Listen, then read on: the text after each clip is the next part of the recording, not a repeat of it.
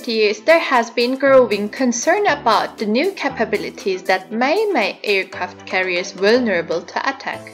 Critics contend that carriers will grow increasingly vulnerable as potential adversaries acquire reconnaissance satellites, long-range cruise missiles, hypersonic missiles, anti-ship ballistic missiles, very quiet submarines, and other tools for denying the aircraft carriers access to littoral areas. This video analyzes the steps adversaries would need to take to execute a successful attack.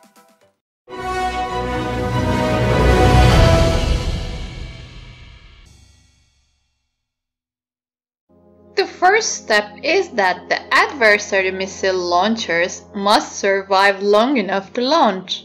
The carriers practice defense by offense all the time. Their aircraft have very long legs and carry missiles that have even more range. They also operate with nuclear submarines that can take out missile sites unexpectedly. Hostile aircraft would be neutralized hundreds of miles before they can launch their missiles against aircraft carriers.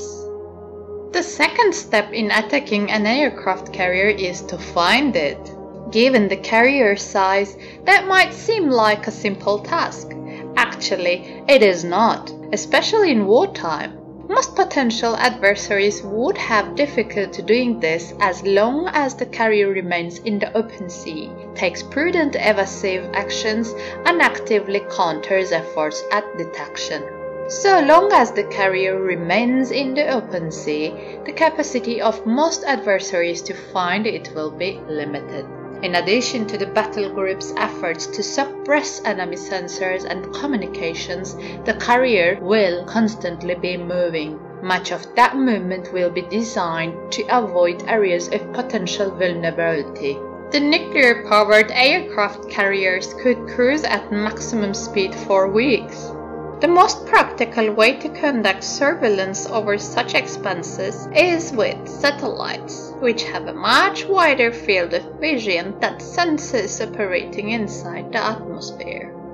If a carrier is actually detected, the next step an enemy must take is to establish a continuous target track that is necessary because a carrier is likely to be far from the location where it was first detected by the time weapons arrived there. During 30 minutes, it may have maneuvered anywhere within a circle measuring 700 square miles.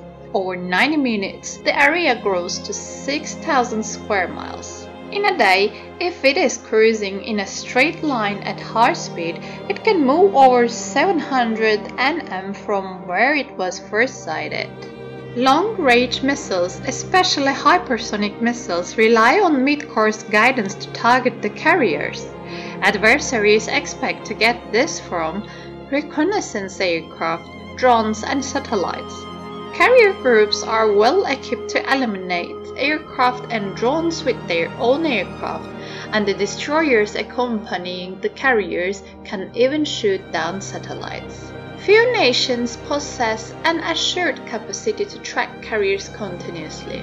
All of the relevant methods, satellite, radar, electronic support measures, electro-optical and acoustic sensors have major drawbacks such as high cost, vulnerability to preemption, and inability to precisely discriminate. Penetrating air defenses The most significant threats to carriers are cruise missiles, wake homing torpedoes, ballistic missiles, and mines, but cruise missiles are unlikely to penetrate the battle group's integrated air defenses, and few potential adversaries are capable of employing submarines or torpedoes effectively. Assuming an adversary was able to locate a carrier, launch its missiles, and target the carrier, that missile still has to identify and hit the target in the face of defensive aircraft with defensive missiles, escort ships with surface-to-air missiles and rapid-fire point defense guns, intensive electronic countermeasures, digital spoofing, decoys, flares, and direct-to-the-energy weapons.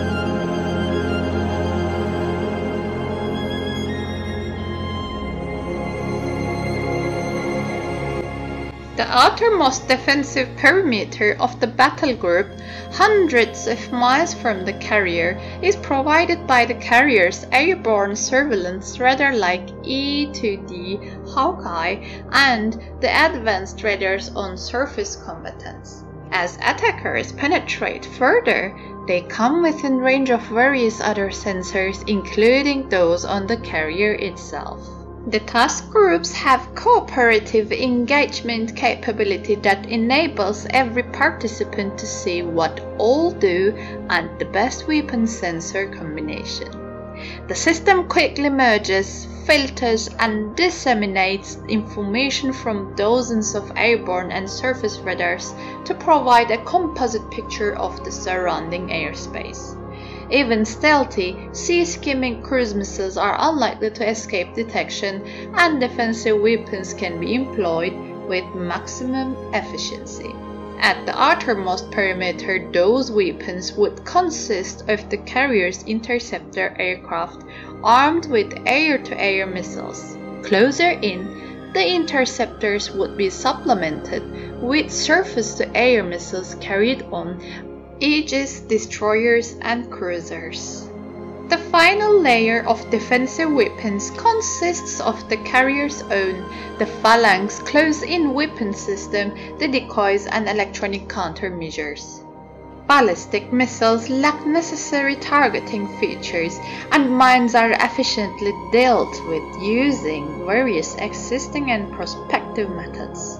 Mines present a more significant threat in shallow water. They are harder to detect in chokepoints like the Straits of Hormuz. The carriers operate in such areas only when cleared of mines. Currently, there are a lot of manned and unmanned mine countermeasure systems are in use. A more serious undersea threat to aircraft carriers is presented by submarines equipped with advanced munitions like homing torpedoes. However, navies have invested extensively in anti-submarine systems that can be employed from aircraft, surface combatants, and submarines.